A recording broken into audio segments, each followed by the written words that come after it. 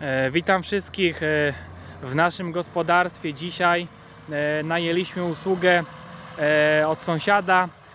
Siejemy pszenicę. W sumie pszenice trzy dzisiaj są zasiane.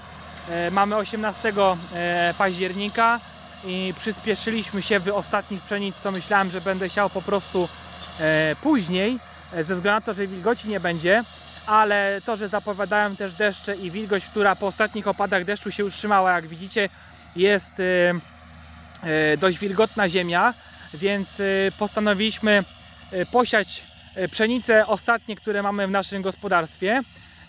Tam w oddali było pole, gdzie została zasiana odmiana e, bilans.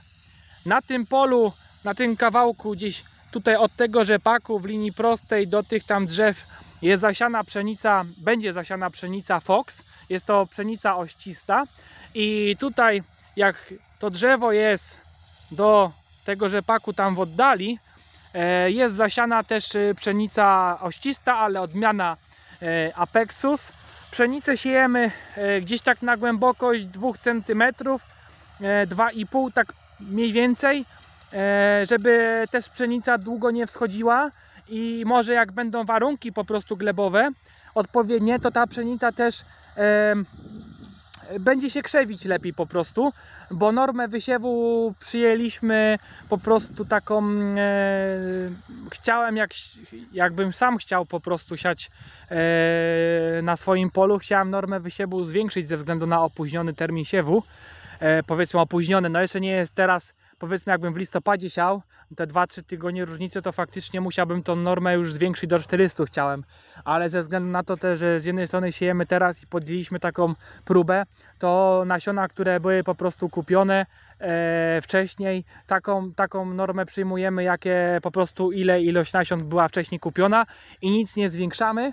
E, więc też się dowiecie, bo muszę to dokładnie sobie przeliczyć później i Wam opowiem, ile każdej odmiany na danym polu zostało wysianych sztuk na metrze kwadratowym, bo kilogramów Wam nie powiem, bo to jest, e, no nie sieje się kilogramów na hektar, tylko sieje się sztuki na hektar. E, więc to też jest zróżnicowane, jeśli chodzi o, poczynając od odmian, które miałem wcześniej, zasianą pszenicę hybrydową. Tam siejemy w ogóle na przykład 50 kg, a sztuk na hektarze 100, 110, 120, więc mm, te ilości wysiewu są zróżnicowane w naszym gospodarstwie. E, Ale to zobaczymy, każda odmiana ma swój jakiś inny potencjał wzrostowy, e, produkcyjny i tak dalej, więc też jestem ciekawy, jak po prostu e, ta krzewistość będzie, jak te rośliny będą rosły, w jakim tempie, bo są odmiany bardzo wczesne, tak jak pszenica Apexus, jest, są odmiany późniejsze na przykład w dojrzewaniu, więc mam trochę tego zróżnicowanego na swoim gospodarstwie. No i krótki przejazd Wam pokażę po prostu agregatu, e, jak tutaj sieje e, tutaj Horsz Pronto 4-metrowy. Jeśli chodzi o tutaj na tym polu, co wcześniej zostało zrobione w tym dniu, to była wywożona też gnojówka. I można powiedzieć, są też takie kolejne nierówności. I to pole wcześniej było też robione agregatem bezorkowym. Jest spulchnione na 35 cm. I oczywiście, no, nie jest też tak idealnie, że się wszystkiego dobrze e, ta powierzchnia, e, że jest taka wręcz idealna jak na stole, ale na tyle jest przyzwoita, e, że po prostu te nasionka trafiają na odpowiednią głębokość i e, powinny być wschody dość wyrównane. No, kwestia później zabiegów innych, no to już wiadomo, to już jest inaczej, bo tylko opryskiwaczem jeździmy e, w odpowiednich e, ścieżkach i tak dalej, w odpowiednich odstępach. Ale wydaje mi się, że podczas koszenia nie powinno być problemu, jeśli chodzi o e, jakieś tam nierówności, to tam raczej, raczej no powiedzmy, że da się to jakoś skosić. I teraz Wam pokażę krótki przejazd e, sąsiada tutaj, który nam pomaga e, zasiać pszenicę do końca, bo naszym siewnikiem byłby problem, a też problem jest z orką, bo właśnie pszenica, gdzie była odmiana bilans, tam była orka wykonana i po prostu była tragedia, jeśli chodzi o e, oranie. A teraz przejazd zestawu.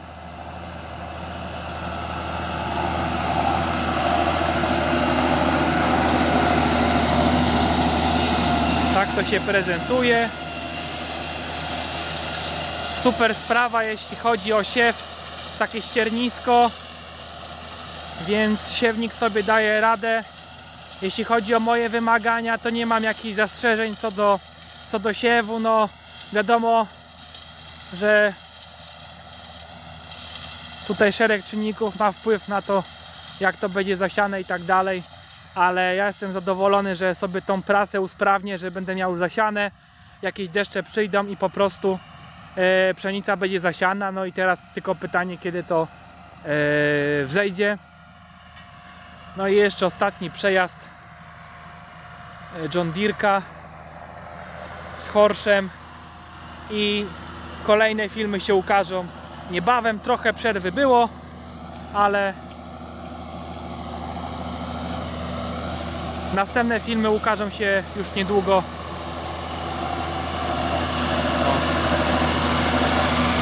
Trochę jak na poligonie, ale wyboiście, ale jakoś daje radę. Więc o idzie sobie ładnie zestaw. Więc tak to wygląda. E, zostało jeszcze tak gdzieś no dobre z 5 hektarów do posiania i na tym kończymy zasiewy jeśli chodzi o e, pszenicę i w ogóle zasiewy jakiekolwiek w naszym e, gospodarstwie. E, dzięki za oglądanie e, i w kolejne materiały to pewnie będą poświęcone rzepakowi, żeby Wam opowiedzieć trochę co zostało zrobione e, i tak dalej, jakiej kondycji są rzepaki, jak to wygląda. A teraz jeszcze chciałem jechać zrobić oprys na pszenicę koło domu, e, bo trochę pogoda się zrobiła, że jest takiego mniej wiatru e, i jadę już, żeby też ten oprys na chwasty wykonać. E, I tyle. E, Dzięki za oglądanie. Do zobaczenia. Trzymajcie się. Cześć.